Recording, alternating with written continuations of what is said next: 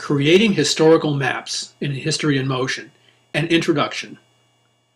Historical maps are being added to History in Motion all the time. This video is an introduction to how you can add your own historical maps. It provides some necessary background information, specifically three things.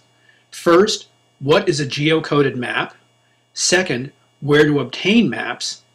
And third, a do-it-yourself free geocoding tool. Subsequent help videos will cover how to obtain and load different map formats. The first thing to understand is that a historical map consists of two things, a digital image of the area described by the map and a correspondence between the pixels in the image and the underlying points on the Earth described in terms of latitude and longitude.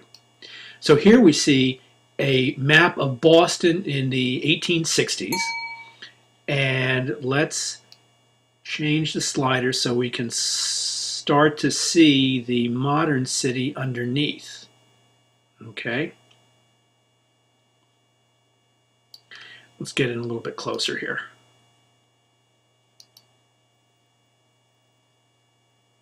So for example, here is School Street the pixels that form this part of the map are mapped to the underlying latitude and longitude of the corresponding points on School Street. That, this correspondence and the process by which it's created is known as geocoding. It's also called georeferencing or rectifying, but geocoding is the most used term. For any given map, it's unlikely that every pixel in the image will have an assigned latitude and longitude. Most programs that create these correspondences work off a small subset of these points called control points. These control points are mapped to latitude and longitude, and the rest of the pixels are assigned latitudes and longitudes by interpolating between the control points. In short, the more control points, the closer the map corresponds to reality.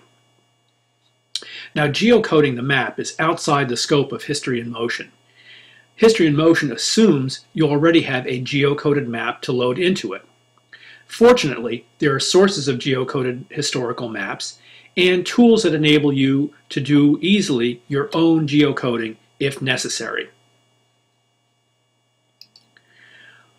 One source of free geocoded historical maps is the New York Public Library's Map Warper, located at maps.nypl.org slash warper, W-A-R-P-E-R.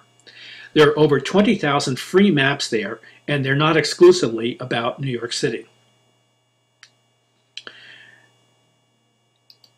The University of Texas has a great website that lists scores of websites that offer historical maps. Some of these will be geocoded and others are just images which you would have to geocode yourself. And you can find this at www.lib.utexas.edu slash maps slash historical. Fortunately, the process of uh, doing your own geocoding is not hard. There's a free tool available called MapTiler, available at www.maptiler.com. There is a short video showing you how to do it by picking a point on the image and then selecting the corresponding point on a Google map and then repeating this until you feel you have enough control points.